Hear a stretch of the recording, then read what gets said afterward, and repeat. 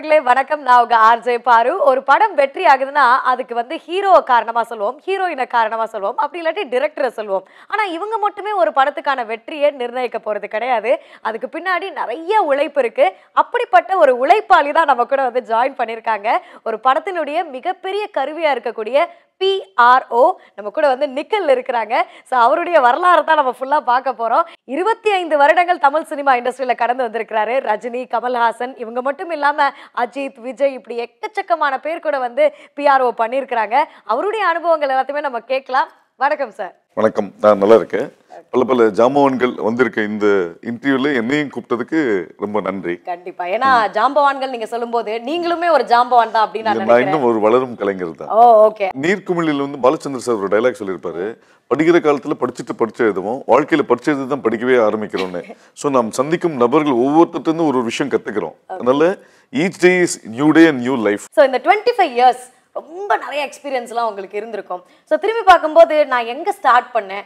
Tamil cinema தான் இது இதுதான் என்னுடைய கனவா இருக்க போகுது இதுதான் என்னுடைய அடுத்த கட்ட ஒரு நகர்வா இருக்க போகுதுன்ற அந்த தாட் எப்போ வந்தது?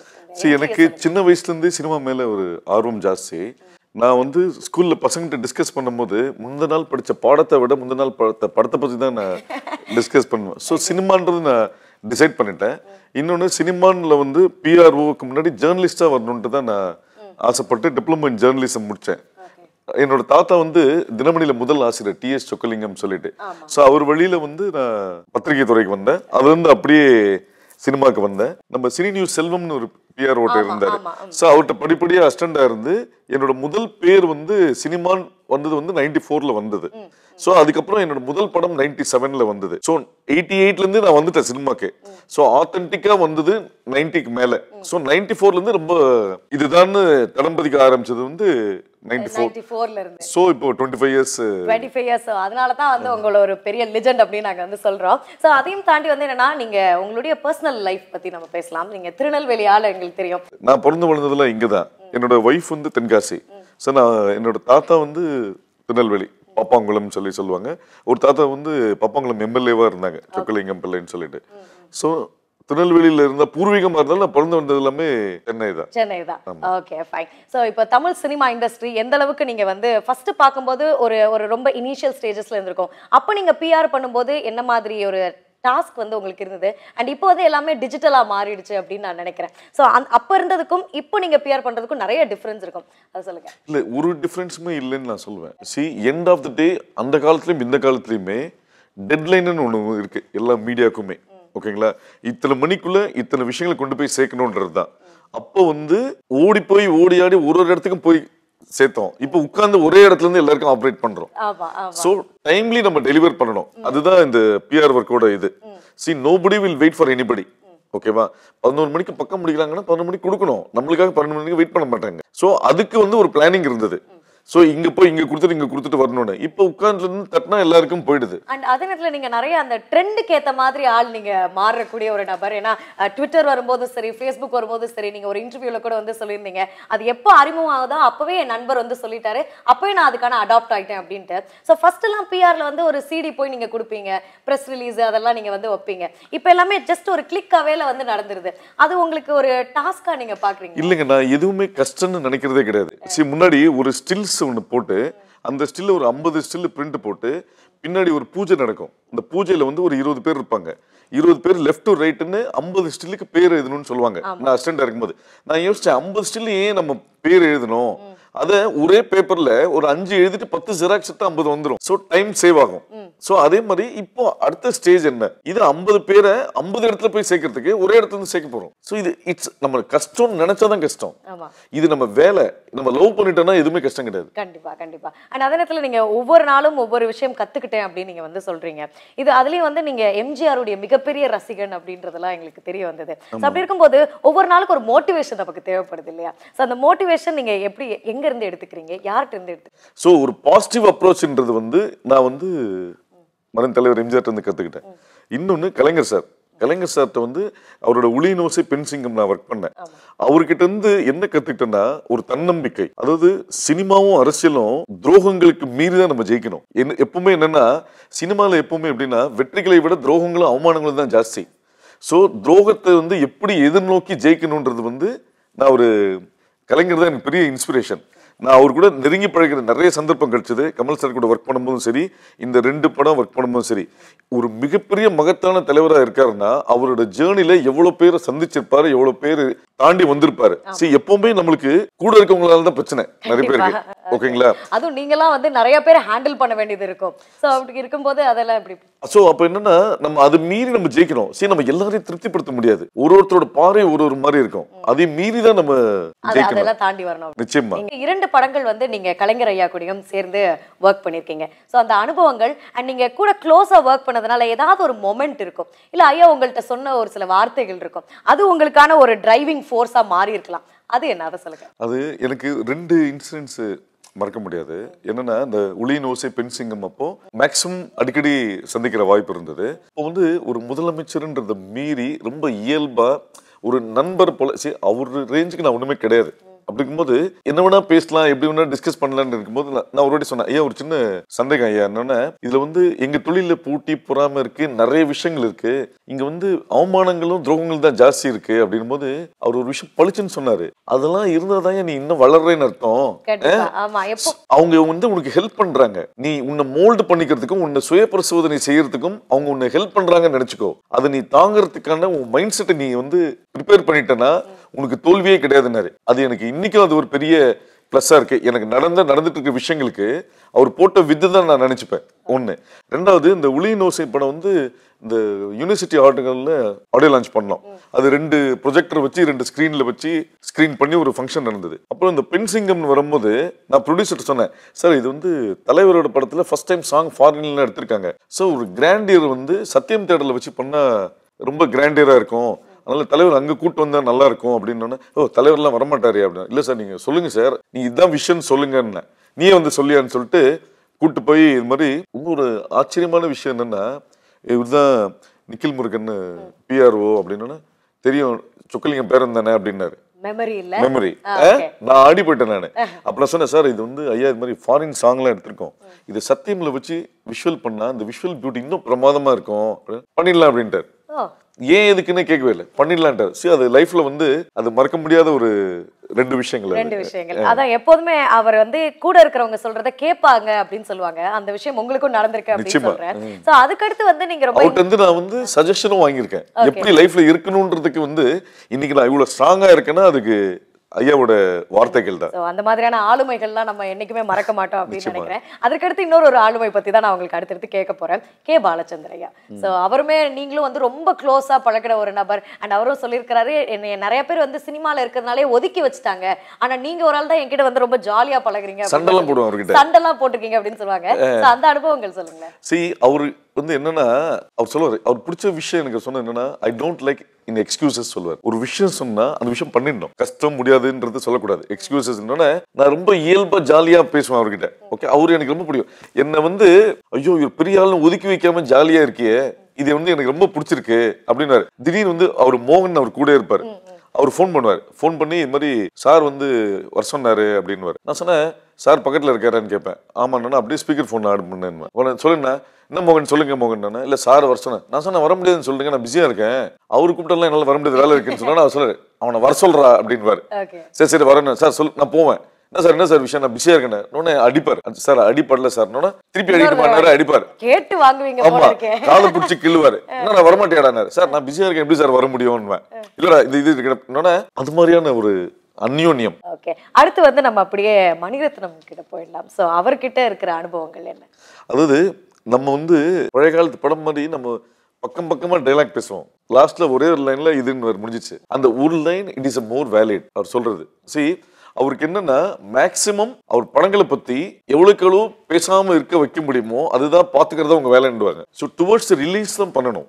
அது வரைக்குமே இட் சுட் பி இந்த லோ ப்ரொஃபைல் பட் ஒரு விஷயம் நம்ம கன்வே பண்ணி சொல்லும் போது அது கரெக்டாக இருக்கும் பட்சத்தில் அது உடனே என்கரேஜ் பண்ணுவார். He speaks less but more sensible இந்த துறை வந்து ரொம்ப சென்சிட்டிவான துறை அப்படின்னு நினைக்கிறேன். ஏன்னா நீங்க வந்து மீடியா பர்சன்ஸையும் ஹேண்டில் பண்றீங்க. செலிபிரிட்டிஸையும் ஹேண்டில் பண்றீங்க. எதை ஹேண்டில் பண்றது வந்து கொஞ்சம் ஈஸின்னு நினைக்கிறீங்க? Celebrities it's all dealing with moods okay ஒரு மீடியா மீடியாக்கு என்ன வேணும்? கண்டென்ட் அந்த இது. அதை நமக்கு ப்ராப்பரா வாங்கி இதுதான் வேணும் கொடுத்துட்டாங்கன்னா it is easy communication is very important okay இப்போ ஒரு விஷயம் இருக்கு. நீங்க ஒரு இன்டர்வியூ கேக்குறீங்க என்ன? ஒரு ஆர்டிஸ்ட் கேட்கும் போது அவங்க கொடுப்பாங்க கொடுக்க மாட்டாங்கன்னு நான் டிசைட் பண்ணக்கூடாது. அது வந்து அந்த ஆர்டிஸ்ட் டிசைட் பண்ணுவேன் ஆனா நான் என்ன பண்ணுவேன் நீங்க கேட்டதை நான் கன்வே பண்ணிடுவேன். Let they should decide with to give it or not இங்க எங்க மிஸ்டேக் ஆகுதுன்னா மேடம் அதெல்லாம் அவங்க கொடுக்க மாட்டாங்க மேடம். சொல்றது ஈஸி நாளைக்கு நீங்க இந்த ஆர்டிஸ்ட்டை சந்திக்கும் போது நாங்க இன்டர்வியூ கேட்டோன்னா எனக்கு யாருமே சொல்லலைன்னுவாங்க. So I will get in to trouble so I never miscommunicate I always communicate to the people அது வேணும் நான் சொல்லுவேன். நான் சொல்லியாச்சு மேடம் இது அவங்க சொன்னாங்க இப்ப சொல்றேன் நாங்க முடிஞ்சு போச்சு அவ்வளவுதான். எல்லாருக்குமே வந்து அந்த ஒரு சக்ஸஸ் ஃபார்முலா இருக்கும் அப்படிலாம் இது பண்ணுவோம். அண்ட் உங்களுடைய தோற்றமே வந்து எல்லாருக்கும் ரொம்ப பிடிச்ச ஒரு விஷயம். அந்த ட்ரெஸ்ஸாக இருக்கட்டும் இல்லை வந்து நீங்க பேசுற அந்த ஸ்பான்டேனிட்டியா இருக்கட்டும் இது எப்படி ரஜினி சார் கமல் சார் இவங்க கூடலாம் இது பண்ணதுனால அந்த யூனிக் ஸ்டைலை நீங்க அங்கிருந்து அடாப்ட் பண்ணீங்களா இல்லை நீங்களே உருவாக்குன ஒரு விஷயம். இல்லைங்க நான் வரும்போது சினிமாவில் வந்து ஒரு பிஆர்ஓன்னு இப்படி தான் ட்ரெஸ் பண்ணணும் இப்படி தான் இருக்கணும்னு இருந்தது. நான் எப்பவுமே ரிவர்ஸில் யோசிக்கிறாள் ஒரு விஷயம் பண்ணும்போது என்ன பண்ணணும்னு யோசிக்க மாட்டேன். என்ன பண்ணக்கூடாதுன்னு யோசிப்பேன். ஸோ பிஆர்ஓன்னு டிசைட் பண்ணும்போது இது வரைக்கும் எல்லாம் என்ன பண்ணிட்டு இருக்காங்க? அதை நம்ம பண்ணக்கூடாதுன்னு வந்தோம் ஸோ ட்ரெஸ்ஸு ஒன்று மற்றவங்களோட நம்ம தனியாக இருக்கணும். நம்ம மற்றவங்க பக்கம் திரும்பதை விட மற்றவங்கள நம்ம பக்கம் திரும்ப வைக்கணும். ஓகேங்களா? விசி கோகுநாதன் வந்து ஒரு டைலாக் சொல்லியிருப்பாரு. வாழ்ந்து காட்டியவன் ராமன் வழிகாட்டியவன் கிருஷ்ணன். நம்ம ராமனா இருக்கமா கிருஷ்ணன் நாம தான் டிசைட் பண்ணணும். ஸோ வி ஷுட் யாராவது என்ன எப்படி இருக்கீங்கன்னு கேட்டா பொதுவா என்ன சொல்லுவாங்க? ஏதோ போயிட்டு இருக்கீங்க லைஃப் வந்துட்டு இருக்கீங்கன்னு ஆனா என்ன கேட்டாங்க நான் எப்படி இருக்கீங்கன்னா ஃபர்ஸ்ட் கிளாஸா இருக்கீங்க ஹாப்பியா ரொம்ப இருக்கீங்க. நல்லா இருக்கேன். அவ்வளவுதான். அதனாலே நிறைய பேர் உங்களை பார்த்து பொறாமப்பட்டிருப்பாங்க அப்படின்னு நினைக்கிறேன். இல்ல அதை நிச்சயமா பொறாமைகள் இருக்கும்? சி விமர்சனங்கள் வந்து இருந்தாதான் நம்ம வளர முடியும். அது என்னன்னா ஆனா அது ரொம்ப வருத்தமான ஒரு கொடுமையான ஒரு விஷயமும் இருக்கு. நம்ம அதை வந்து வி ஷுட் அக்செப்ட் தட் என்னன்னா முன்னாடி வந்து என்ன பண்ணுவாங்கன்னா போட்டின்னு ஒன்று இருந்தால் தான் நம்ம லைஃப்ல ஜெயிக்க முடியும். லைஃப்ல போட்டி இருக்கணும் பொறாம இருக்கக்கூடாதுன்னுவாங்க. ஆனா இந்த சினிமால ரெண்டு ரொம்ப ஜாஸ்தி ரொம்ப ப்ரெஷர் ஆச்சு உங்களுக்கு ப்ரெஷர் ஜாஸ்தி. முன்னாடி பாத்தீங்கன்னா போட்டியில பொறாமையில என்ன பண்ணுவாங்கன்னா அந்த காலத்துல வந்து மந்தளம் வைக்கிறது சூனியம் வைக்கிறது வச்சு காலி பண்ணணும்னு சொல்லுவாங்க. இன்னைக்கு டெக்னாலஜி வளர்ந்து போச்சு. இப்ப எல்லாரும் எடுத்திருக்க ஒரு ஆயுதம் என்னன்னா கேரக்டர் அசோசினேஷன் சரி இது எனக்கும் நடந்தது. ரெண்டாயிரத்தி பதினஞ்சுல எனக்கும் நடந்தது. என்னையும் கேரக்டர் அசோசியேஷன் பண்ணி இவனை சினிமா விட்டு ஒழிச்சு வைக்கணும்னு ஒரு ரூம் போட்டு யோசிக்காம நிறைய பேர் டிசைட் பண்ணாங்க. பட் எனக்கு கொடுத்த கான்ஃபிடன்ஸ் திரும்பவும் கலைஞர் கொடுத்த கான்ஃபிடன்ஸ் அவர் கலைஞரையோட வார்த்தைகள். கொடுத்த கான்ஃபிடன்ஸ் நான் மீண்டு வந்தேன். அதுக்கப்புறம் இப்போ முன்ன விட ரொம்ப ஸ்ட்ராங்கா இருக்கேன். எது வந்தாலும் ஃபேஸ் பண்ணலாம். இதுதானே. சி எல்லாரும் ஒரு நாள் சாக போறோம். நம்ம ஏன் வந்து சாவ நினைச்சு பயப்படக்கூடாதுன்னா அதை நம்ம பார்க்க போறது இல்ல ஸோ இது மீறி தான் ஜெயிக்கணும் நம்ம. ஓகேவா இந்த கேரக்டர் அசோசினேஷனை வந்து தாங்கிறதுக்கு சக்தி வந்துச்சுன்னு வச்சுக்கோங்களேன். நம்ம லைஃப் ரொம்ப ஈஸி ஓகே ஸோ இது வந்து உங்களை நீங்க பாதுகாக்கிறதுக்கான ஒரு வேலையா நீங்க அந்த கேரக்டர் அசாசினேஷன்ல இருந்தும் சரி அண்ட் நீங்க உங்களை பாசிட்டிவா வச்சுக்கிறது வந்து ஒரு மிக முக்கிய இதுவா நான் பாக்குறேன். அண்ட் அதையும் தாண்டி இப்போ ஒரு படம் வந்து நல்லா ரிலீஸ் ஆகுது அதற்கான வந்து ரீச் வந்து நல்லா இருக்குதுன்னா பிஆர்ஓ நல்லா வேலை பார்த்துட்டாருப்பா அப்படின்னு சொல்லுவாங்க. இதே இது ஒரு சில படங்கள் வந்து ரீச் ஆகாம போறதுக்குமே அந்த ஒரு பிஆரை வந்து கார்னர் பண்ணுவாங்க இல்லையா? அந்த மாதிரி தருணங்கள் உங்களுக்கு நடந்திருக்கா? அதை எப்படி நீங்க ஃபேஸ் பண்ணி அது மாதிரி விஷயங்கள் எனக்கு நடந்ததே கிடையாது. கிடையாது. கிடையாது. சி என்னோட நிறைய பேர் சொல்ற விஷயங்கள் என்னன்னா நீங்க வந்து பளிச்சு பளிச்சுன்னு முகத்துக்கு நேரா சொல்லிடுறீங்க. அதுதான் உங்க மைனஸ் சொன்னாங்க சொன்னா இருக்கட்டுங்க நான் சொல்வேன் நல்லதை வந்து பின்னாடியும் கெட்டதை முன்னாடியும் சொல்லணும். அதுதான். We should never give false hope ஒண்ணு. இந்த இடத்துல ஒரு விஷயம் என்னன்னா நான் சினிமா இந்த லெவல் வளர்றதுக்கு முக்கியமான ரெண்டு நபர்கள் எனக்கு காரணம். ஃபிலிம் ஃபேர் தங்கதுரை ஒருத்தர். என்னை அடுத்த கட்டத்துக்கு எடுத்துட்டு போனவர் அவர்தான். ஒண்ணு. ரெண்டாவது ஃபோர் ஃப்ரேம்ஸ் கல்யாணம். எனக்கு ஒரு கல்யாணம் சார் சொல்லி கொடுத்த ஒரு வார்த்தைகள் நான் இன்னும் ஃபாலோ பண்றேன். உண்மைக்கு ஞாபக சக்தி தேவையில்லைன்னு சொன்னார். பொய் சொன்னாதான் என்ன சொல்லணும் ஞாபகம் வச்சுட்டு பேசணும்.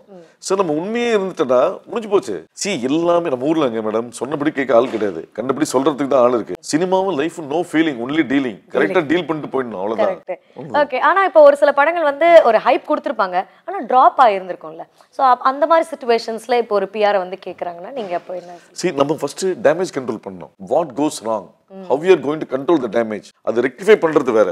ஃபர்ஸ்ட் see அதானா என்னோட விசிங் கார்ட்லயே பாத்தீங்கன்னா கிரைசிஸ் மேனேஜ்மெண்ட்னு வச்சிருப்பேன். What is the crisis in that how you are going to rectify that அது இம்பார்ட் அது சரி பண்ணாலே போதும். டேமேஜ் கண்ட்ரோல் எங்க டேமேஜ் நடந்திருக்கு? How you are going to rectify it அதுதான். வர்மா படத்தை பத்தி நம்ம பேசலாம் அப்படின்னு நினைக்கிறேன். ஸோ அந்த படத்துல இருந்த அந்த இஷ்யூஸ் பத்தி உங்களுக்கு தெரியும். இது இது வந்து உங்க கையில ஏன்னா ஒரு படம் சக்சஸ் ஆச்சுனாலும் ஒரு பிஆர் தான் அட்ரஸ் பண்றாங்க. அதே இது அதுல ஏதாவது ஒரு மாற்றங்கள் நடந்தாலுமே அந்த பிஆர் தான் பொறுப்பேற்றுக்குள்ள ஒரு சுச்சுவேஷன்ல இருக்கிறாங்க. ஸோ வர்மா படத்துல என்ன நடந்தது அண்ட் நீங்க அதை எப்படி ஹேண்டில் பண்ணீங்க? இல்ல இது வர்மா படத்துல உண்மையிலேயே என்ன நடந்ததுன்றது டைரக்டருக்கும் ப்ரொடியூசருக்கும் விக்ரம் சாருக்கு மட்டும்தான் தெரியும். ஓகே ஓகேமா ஒரு நாள் திடீர்னு நானே சோஷியல் நெட்வொர்க்ல பார்த்தேன். பார்த்தபோது இந்த படம் வந்து டிராப்டு இது ஷெல்வ் எல்லாருக்குமே ஒரு ஆயிடுச்சு. பெரிய அதிர்ச்சியா இருந்தது. ஷெல்வ் ஆயிடுச்சு. இதை வந்து வேற டேரக்டர் வச்சு பண்ண போறாங்கன்னு ப்ரொடியூசர் போட்டிருந்தாரு.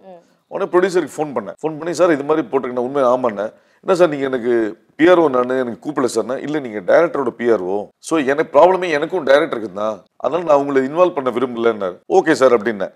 அப்புறம் நான் பாலா சார்ட்ட சொன்னேன் சார் இது மாதிரி ஒரு விஷயம் என்னன்னா ஆமான்னாரு. இது வந்து பிரஸ்லாம் கேட்டா என்ன சொல்றதுனாரு இப்போதைக்கு பேச வேணாம் அப்படின்ட்டார். ஸோ நான் வந்து என்ன சொல்லிட்டேன்னா இந்த விஷயம் உண்மை.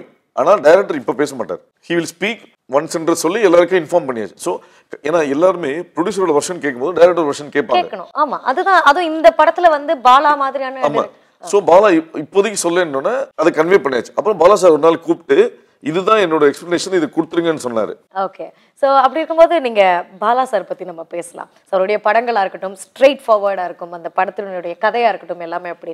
ஸோ அவர் டீல் பண்றது எப்படி இருக்கும்? உங்ககிட்ட? சி நீங்க ரொம்ப சிம்பிள் என்ன எல்லாரும் பயமுறுத்துவாங்க பாலா சார் டீல் பண்றது. ஆமா. But is very such nice gentleman கோபப்படுவாருலாம் சொல்லுவாங்க. எல்லாம் சொல்லுவாங்க. இது வரைக்கும் நான் கோவப்பட்டு என்கிட்ட கோவப்பட்டு பார்த்ததே இல்ல. சரி நான்லாம் வந்து அவர்கிட்ட டெய்லி ஃபோன் பண்ணி இது பண்ணோம் அது பண்ண இது பண்ண கேட்கவே மாட்டேன். எங்க ரிலேஷன்ஷிப் எப்படின்னா ஏதாவது வேணும்னா கூப்பிடுவாரு. அவங்க ஆஃபீஸ் வந்து கூப்பிடுவாங்க. டேரக்டர் வர சொன்னாருனாங்க போவேன்.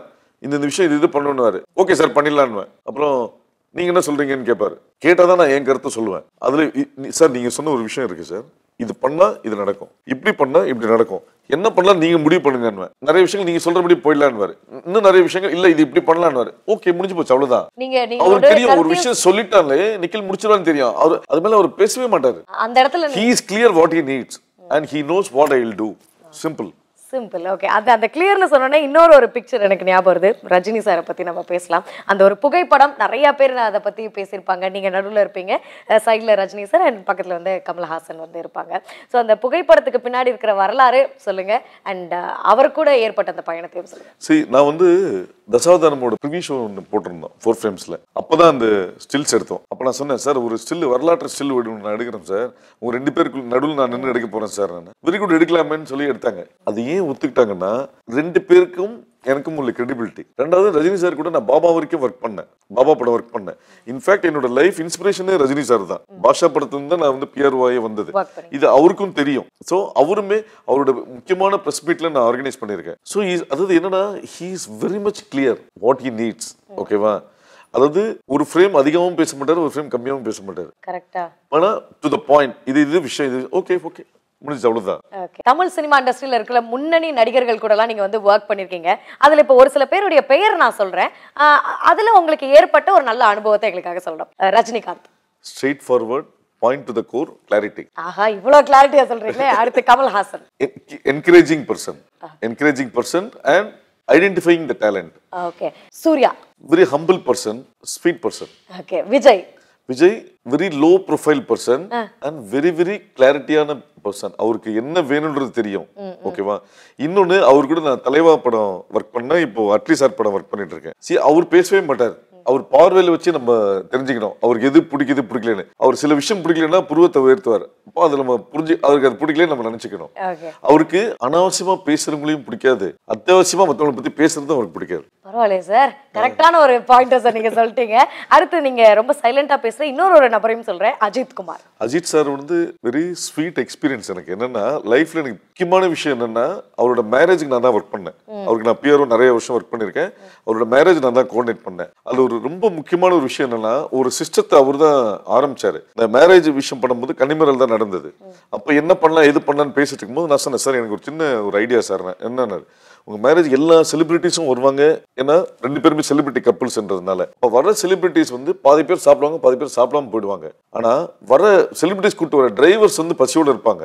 ஸோ வரும்போது ஒரு பேக்கில் வந்து அவங்களுக்கு ஃபுட்டு வச்சு அந்த டிரைவர்ஸ்க்கு மட்டும் கொடுத்துட்டேன்னா அவன் வீடு வரைக்கும் போய் அஜித் சார் கல்யாணத்துக்கு போனோம் கல்யாண சாப்பாடு சாப்பிட்டு திருப்தி இருக்கும் சார் இதை நம்ம பண்ணலான்னு don't think about the money do இட்ன்ட்டார் அது நாங்கள் அஜித் சார் கல்யாணத்தில் பண்ணோம். அதே விஷயம் I implemented in Suriya sir marriage சூர்யாஸோட sister மேரேஜுக்கும் அந்த விஷயம் நாங்கள் இம்ப்ளிமெண்ட் பண்ணோம். அப்போ சிம்பு பற்றி சிம்பு வந்து எல்லாரும் சொல்லுவாங்க அவர் டீல் பண்றது கஷ்டம்னு. ஆனா நான் ரொம்ப ஃப்ரெண்ட்லியா அது எப்படி சார் உங்ககிட்ட எல்லாருமே கரெக்டாக ஹேண்டில் சரி அதான் சொன்னேன் அவங்களுக்கு என்ன பிடிக்குன்றதை விட என்ன பிடிக்காதுன்றது எனக்கு தெரியும். மைண்ட் ரீடிங் பண்ணிடுறீங்க மைண்ட் மேப்பிங் பண்ணிடுறீங்க ஆமா.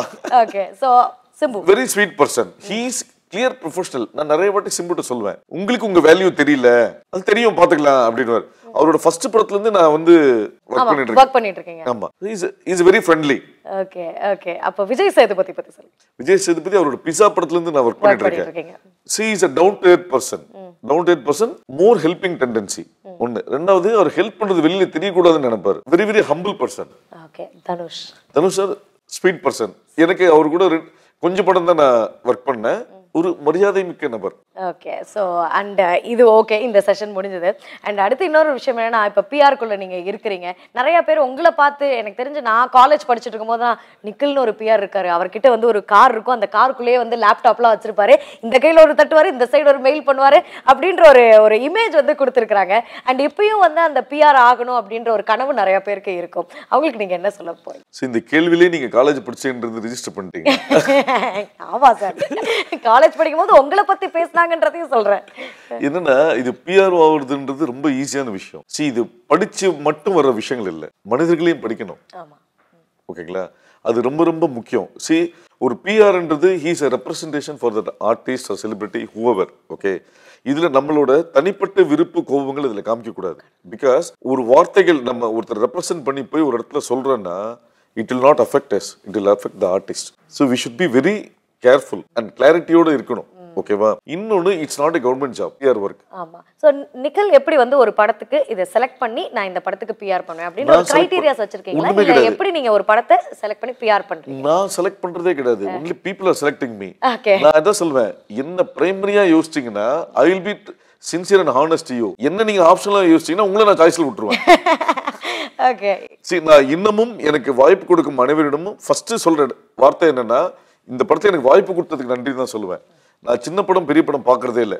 பப்ளிக் தான் சொல்லணும் எது சின்ன படம் பெரிய படம்னு. Each and every film is important to me each and every film is equal to me இதுல வந்து நிறைய போட்டிகள் இருக்குது. ஸோ அப்படி இருக்கும்போது அந்த துரோகங்களும் இருக்கு அப்படின்னு நீங்க வந்து சொல்லியிருக்கீங்க.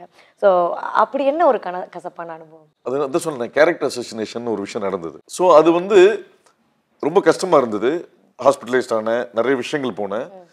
திரும்ப கலைஞரோட வழிகள் குடும்ப சப்போர்ட் உண்மையான அப்போ உண்மையான நண்பர்கள் நம்ம தெரிஞ்சுக்கிறதுக்கு வந்து ஒரு ஆசிட் டெஸ்ட் ஒன்று நடக்கும் பார்த்தீங்களா லைஃப்ல. ஸோ அந்த டெஸ்ட் நடந்த போது யார் ரியல் யார் ரியல் பர்சன் தெரிய வந்தது. தட்ஸ் ஆல் வெரி சிம்பிள் இப்போ நீங்க என்ன பண்ணாலும் நான் எதிர்க்க ஃபேஸ் பண்ண தயாராகிட்டேன் நான். ஸோ அந்த அனுபவங்கள். ஓகே ஃபைன் ஸோ இப்போ இன்னொரு ஒரு சின்ன விஷயம். இப்போ நடக்கிற அந்த சினிமா அப்டேட்ஸ்லாம் உங்களுக்கு நிறையா தெரிஞ்சிருக்கும். இப்போ ஒரு இந்த நடந்த ஒரு விஷயத்தை நான் லைக் பண்ணுறேன் அப்படின்னா வாட் வில் யூ சே எந்த விஷயம் சொல்றீங்க? சினிமாவில் இப்போ இருக்கிற அப்டேட்ஸில் டெக்னாலஜி அந்த more reach people social media not to social media இன்னும் சோஷியல் மீடியா வீரங்கள்ல இருந்தாலும் போஸ்ட் கலாச்சாரம் இன்னும் மாறல. மக்கள் இன்னும் போஸ்ட் நம்புறாங்க. போஸ்ட்னு வந்தாதான் ஒரு பிரம்மாண்டம் வந்து இருக்கு. ஸோ டெக்னாலஜி அட்வான்ஸ்மெண்ட் ஆகி போச்சு it's happy we can reach more people instantly okay அதான். சினிமாவில் இருக்கிற அந்த அட்வான்ஸ்மெண்ட்டை நீங்கள் சொல்றீங்க ஓகே ஸோ பிரம்மாண்டம் அப்படின்னு சொன்னோன்னே டூ பாயிண்ட் ஜீரோ படத்தை நம்ம வந்து பேசலாம். அதுவும் சங்கர் சாருடைய அனுபவங்களும் நம்ம பேசலாம். டூ பாயிண்ட் ஜீரோவில் உங்களுடைய விஷயம். அண்ட் தென் சங்கர் சார் கூட ஏற்பட்ட ஒரு சில தருணங்கள் நீ என்னோட நான் லைஃப்ல டேர்னிங் பாயிண்ட்னு சொன்னது வந்து மிஸ்டர் தங்கவரைன்னு சொல்லியிருந்தேன். அவர் மூலியமா தான் முதல்வனுக்கு நான் பிஆர் வாங்க ஸோ முதல்வன்ல இருந்து இன்னைக்கு வரைக்கும் டுவெண்ட்டி இயர்ஸ் சங்கர் சார் கூட டிராவல் பண்ணிட்டு இருக்கேன். So he's a very great human being okay எந்த காலகட்டத்திலும் எங்கேயும் என்னை விட்டு கொடுத்ததே இல்லை. Again I know how to work with him and where to draw my line ஓகேவா அவர் என்ன நினைக்கிற அவர் சொல்லாரு எனக்கு கரெக்டா நீ சொல்றியா அப்படின்னுவார். ஐ நோ ஹிம் வெல் அவருக்கு எது பிடிக்கும் எது கம்ஃபர்ட் இல்லைன்னு. சரி எங்களோட ஈக்குவேஷன் என்னன்னா சில விஷயம் கன்வே பண்ணுவேன். ஓகேன்னு சொல்றாரு. அவர் ஓகே சொல்லனா அது ஓகே இல்லைன்னு அர்த்தம். ஓகே ஓகே அதுதான் எங்க ரெண்டு பேருக்குள்ள ஒரு அந்த அண்டர்ஸ்டாண்டிங்கை நீங்க கரெக்டா புரிஞ்சுக்கிறீங்க ஆமா. ஓகே ஸோ இப்போ ஏஆர் ரஹ்மான் பத்தி நம்ம வந்து பேசலாம். ஏஆர் ரஹ்மான் கூட வந்து அவர் ரீச் பண்றது ரொம்ப கஷ்டம் அப்படின்னு சொல்லும்போது நீங்க வந்து நான் அவங்கள டக்குன்னு ரீச் பண்ணிடுவேன் அப்படின்லாம் சொல்லுவீங்களே. ஆமா இது என்னன்னா நான் அவரோட ஆஸ்கர் வாங்கிட்டு வந்த போது அந்த பிரஸ் கான்ஃபரன்ஸ் நான் தான் வச்சேன். ரெண்டு ஆஸ்கரோட பிரஸ் கான்ஃபரன்ஸ் அது த்ரூ மிஸ்டர் தங்கதுரை மூலியமா தான் ஸோ இன்னைக்கு வரைக்கும் அவருக்கு தெரியும் நான் வந்து அவருன்னு இல்லை. இண்டஸ்ட்ரி பீப்புள் எல்லாருக்கும் தெரியும். நான் யார்கிட்டயுமே இனி I will never take any advantage I will deal with only professionally not personally நான் ரஹ்மான் சாருக்கு ஏதாவது வேணும் எது விஷயம்னா நான் வந்து என் வேலையெல்லாம் முடிச்சு நைட் பன்னெண்டு ஒரு மணிக்கு மெயில் அனுப்புவேன். தூங்க போயிட்டு காலைல பார்த்தீங்கன்னா ஒரு ஃபோர் ஃபோர் தேர்ட்டிக்கு ரிப்ளை பண்ணியிருப்பாரு ஓகே நைட்டெல்லாம் அவர் ஒர்க் பண்றாரு. அவர் நைட் ஒர்க் பண்றதுனால நான் ஒரு பத்து லைன் போட்டு இது விஷயம் சார் இது விஷயம் இது மாதிரி விஷயம் இது பண்ணுவேன். அவரு ஓகே ஒரு பதில் வரும் ஓகே டன் அவ்வளவுதான். டன் கிடையாது ஓகே இல்லைன்னா நோ அவ்வளவுதான் முடிஞ்சு போச்சு. Okay Ilaiyaraaja sir. See Raja sir வந்து நான் நிறைய படம் ஒர்க் பண்ணியிருக்கேன். ஓகேங்களா நீங்க நம்ப மாட்டீங்க. நான் ராஜா சாருக்கு வந்து இன்னமும் நிறைய விஷயங்கள் மெசேஜ் அனுப்புவேன். சார் இது மாதிரி ஒரு விஷயம் உங்களை சந்திக்கணும் அப்படின்னு you won't believe he will respond me இத்தனை மணிக்கு வான்னு சொல்லிட்டு நான் தமிழ்ல அனுப்புவேன் தமிழ்ல அனுப்புவாரு. Right there is no necessity okay end of the day என்ன சொல்ல வரேன்னா இந்த பிஆர் ஆகணும்னு சொல்ற அத்தனை பேருக்குமே it's all depends how you deal with the person so எல்லாருக்குமே இப்போ காந்திக்கு அவருடைய கண்ணாடி மாதிரி பெரியாருக்கு அவருடைய குச்சி மாதிரி அண்ட் சேகுவாராக்கு அவருடைய கேப் மாதிரி நிக்கில் முருகனுக்கு வந்து அவருடைய Dress தான் வந்து ஒரு ஐடென்டிட்டி அப்படின்னு சொல்ல முடியும். ஸோ இப்படி இந்த கலர் கலர் சட்டைகள் இது எங்க நீங்க வாங்குறீங்க? இல்ல இதுக்கு நாலு பேர் கொண்ட குழு இருக்குதா? சொல்லுங்க. See நான் எப்பவுமே தனித்து இருக்கணும்னு நினைக்கிற விஷயம்தான். See எல்லாரும் போடுறதே நம்ம போடக்கூடாது. கலர் கலரா ஃபேன்சியா போடணும். நீங்க யோசிக்கவே யோசிக்க முடியாத ரெட் பேண்ட் ரெட் ஷர்ட் பச்சை பேண்ட் பச்சை ஷர்ட் எல்லாம் வச்சிருக்கேன். அதை நான் பப்ளிக்கலாவே வந்திருக்கேன். நிறைய பேர் சொல்லுவாங்க. நீங்க போட்டி கொடுப்பீங்க போல இருக்கே. அதுல எனக்கு ஒரு சந்தோஷம் என்னன்னா யாரும் யூகிக்க முடியாத கலர்லாம் போட்டு வரும்போது சொல்லுவாங்க. அதாவது இதை போடுறதுக்கு ஒரு தைரியம் வேணும் உனக்கு இருக்கியா அப்படின்னுவாங்க. அது போ போ என்னாச்சுன்னா இது மாதிரி ட்ரெஸ் போட்டா ராமராஜன் சார் பேர் மறந்து இது நிக்கில் ட்ரெஸ் see ஒரு ஐடென்டிட்டி தேவை தேவைன்னு நான் நினைச்சேன். அது Dress மூலியமா கொண்டு வரணும்னு நினைச்சேன். சரி ஒரு ஃபங்க்ஷன் எடுத்துட்டீங்கன்னா ஆடியோ லான்ச்ல ஒரு ஃபங்க்ஷன்ல நான் மூணு Dress மாத்துவேன். நீங்க வரும்போது பாத்தீங்கன்னா ஒரு ட்ரெஸ்ல இருப்பேன். ஃபர்ஸ்ட்ல ஒன்று இருப்பேன் அப்புறம் இன்னொன்று இருப்பேன். என்னன்னா it makes me always fresh keep changing the dresses okay and உங்களை பார்க்கும்போது அவங்களுக்கு ஒரு ஃப்ரெஷ்னஸ் அது சொன்னேன் நம்ம மத்தவங்க பக்கம் திரும்ப கூடாது. மத்தவங்களை நம்ம பக்கம் திரும்ப வைக்கணும். திரும்ப வைக்கணும். ஆஹா. ஸோ இப்போ சார் சொல்லியிருந்த பல விஷயங்கள் வந்து எங்களுக்கு ரொம்ப நல்லா இருந்தது. அண்ட் உங்களுடைய அப்டேட்ஸ் எல்லாமே நீங்க எங்களுக்கு சொல்லியிருந்தீங்க. தேங்க்யூ ஸோ மச் வெற்றியோ தோல்வியோ எதுவும் நிரந்தரம் கிடையாது. நம்ம எல்லாருமே வெற்றியை நோக்கி தான் பயணம் பண்ணணும் அப்படின்னு நம்ம நினைச்சிட்டு இருக்கிறோம். ஆனா அந்த பயணத்துல உண்மையாவும் நேர்மையாவும் இருந்தோம்னா கண்டிப்பா வெற்றி நம்மளை நோக்கி வரும். ஸோ அந்த ஒரு லேர்னிங் இந்த ஒரு குட்டி இன்டர்வியூ மூலயமா உங்களுக்கு தெரிஞ்சிருக்கும் அப்படின்னு நினைக்கிறேன். இதே மாதிரி தொடர்ந்து சினிமாவில் உண்மையா இருக்கக்கூடிய நபர்கள் எல்லாருமே நாங்க கூப்பிட்டு பேச போறோம். தொடர்ந்து சினிமாவை காதலிப்போம். நன்றி வணக்கம்.